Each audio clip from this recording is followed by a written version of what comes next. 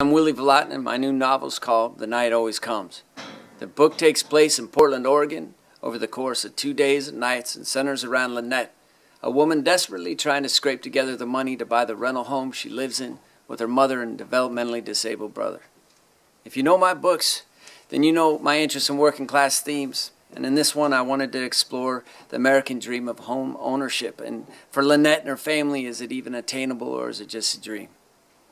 I worked like a madman on this one, and luckily I still have my ace editor, Myrna Loy, and I swear the ending of The Night Always Comes isn't going to devastate you the way Don't Skip Out on Me did.